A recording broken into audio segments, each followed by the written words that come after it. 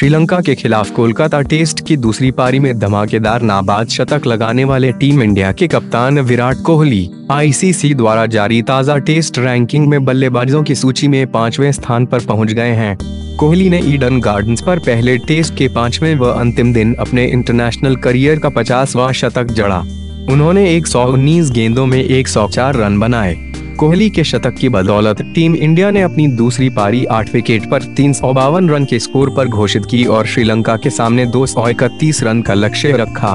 कोहली ने ऑस्ट्रेलिया के opener David Warner को पीछे छोड़ते हुए पांचवा स्थान हासिल किया।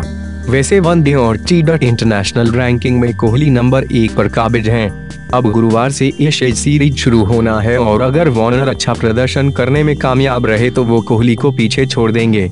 टीम इंडिया के spin all rounder Ravindra Jadeja को आईसीसी टेस्ट रैंकिंग के ऑलराउंडरों की लिस्ट में नुकसान हुआ है। उनके पास नंबर एक बनने का मौका कुछ समय के लिए फिसल गया है।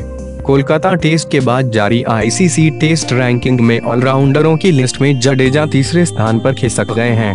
उन्हें 20 रेटिंग पॉइंट्स का नुकसान हुआ है। हालाँकि, श्रीलंका के खिलाफ दो टेस्ट शेष हैं। ऐसे में जडेजा के पास एक बार फिर शीर्ष स्थान पर पहुँचने का मौका रहेगा। टीम इंडिया के तेज गेंदबाज भुवनेश्वर कुमार को आठ स्थान का फ़ायदा हुआ है और उन्होंने अपने करियर की सर्वश्रेष्ठ रैंकिंग हासिल की। कोलकाता टेस्ट के man of the match Bhuvi अब आईसीसी टेस्ट रैंकिंग के गेंदबाजों की लिस्ट में उनतीसवें स्थान पर पहुँच गए हैं।